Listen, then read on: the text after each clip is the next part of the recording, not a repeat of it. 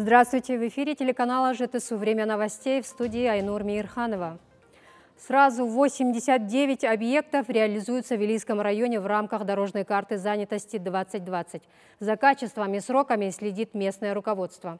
Реконструкцию и строительство ряда из них в Буралдайском, между Реченском сельских округах проинспектировал Аким района поселке Буралда идет реконструкция сервисного акимата. Открытие планируется уже в этом месяце. Трансформация привычных кабинетов в формат Open Space направлена на взаимодействие с населением и будет способствовать искоренению бытовой коррупции, считают представители акимата. Вторую жизнь обретает и детский сад Адема, в котором будут воспитываться более 300 детей. Здание было построено в 1991 году и за это время впервые проходит реконструкцию. Ремонт дошкольного учреждения идет в рамках государственной программы программы «Аулам Ельбесагам». На эти цели было выделено порядка 400 миллионов тенге.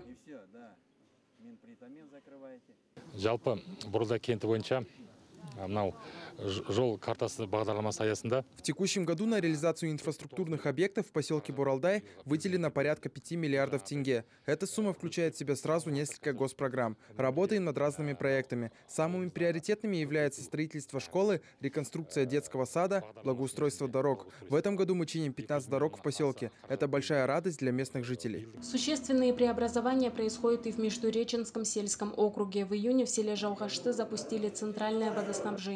Теперь походы с флягами и ведрами остались для многих сельчан в прошлом. Два резервуара вмещают 600 кубометров чистой воды. Проинспектировавший ход реализации госпрограммы Аким района Багдад Карасаев отметил, что теперь водопровод будет в каждом селе. Вот самое главное это был водопровод, он проект переходящий был. Вот обеспечение у него свыше 300 там, домов у него. Вот недавно мы сказали 375 абонентов, там вообще воды не было. 12,3 километра водопроводную сеть провели, воду дали. Сейчас вот остается э, только благоустройство самого водозабора. Опрессовка и все. Я думаю, мы завершим где-то дней через 10-15. По дорожной карте занятости в районе реализуется сразу 86 различных проектов. Особое внимание местные власти уделяют благоустройству дворовых площадок в сельских округах, а точнее их качеству. Аделя Жаркенова, Ербол Атантелов, телеканал ЖИТСУ. Попытка сбыта более одного килограмма гашиша пресечена в Алматинской области. Сотрудниками Управления по противодействию наркобизнесу Департамента полиции была получена оперативная информация о вывозе запрещенного вещества. Неизвестные на своей автомашине марки Hyundai перевозили крупную партию наркотиков с целью дальнейшей реализации. Операцию по поимке двух наркокурьеров провели в одном из дачных комплексов Капшагая – при личном досмотре у молодых людей оперативниками обнаружен полиэтиленовый пакет с наркотиками.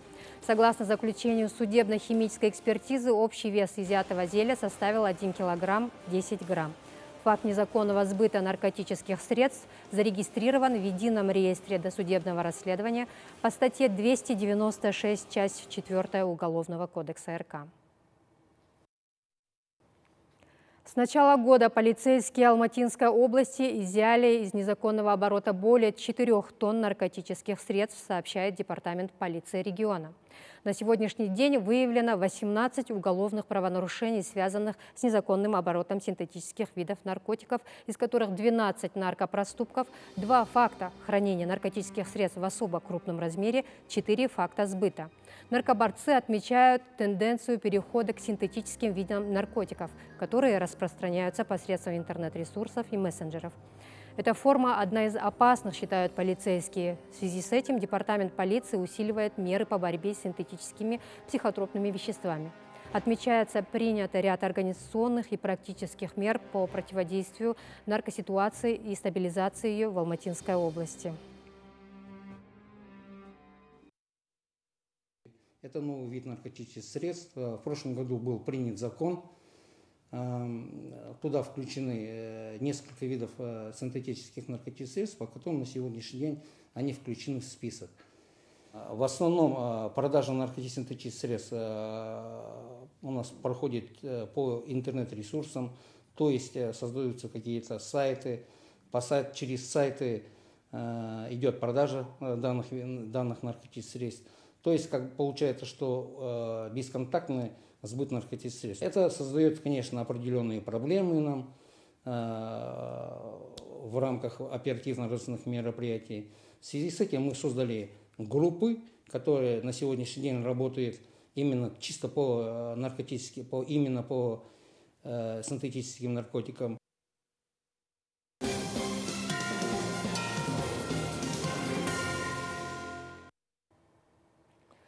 Продлить пособие по безработице требуют протестующие Нью-Йорка. По словам демонстрантов, 600 долларов, выделяемых правительством в неделю, не хватает на жизнь. Следует отметить, из-за пандемии коронавируса порядка 30 миллионов американцев лишились своих рабочих мест.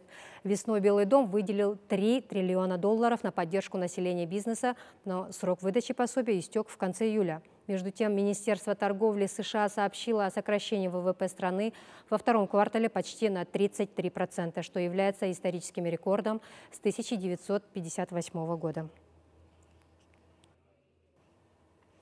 Группа из 47 немецких спасателей направилась в ливанскую столицу для оказания помощи местным властям в поисках людей.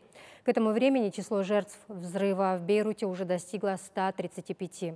Без крыши над головой остались 300 тысяч человек. Ранее правительство ФРГ уже заявляло о намерениях в оказании всесторонней помощи ливанскому народу.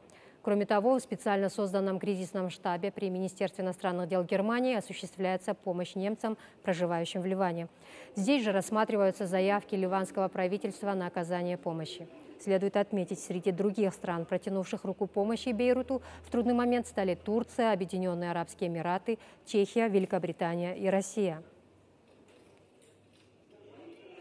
Сегодня весь мир отмечает День борьбы против ядерного оружия. Ровно 75 лет назад японский город Хиросима подвергся атомной бомбардировке американской авиации.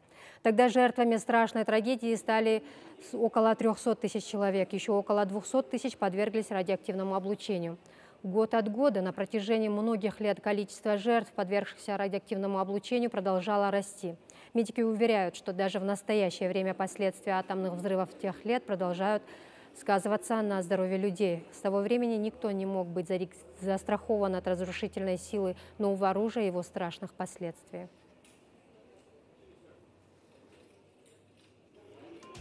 К этому часу у меня все, а мы с вами встретимся ровно в 21.30 на телеканале ЖТСУ.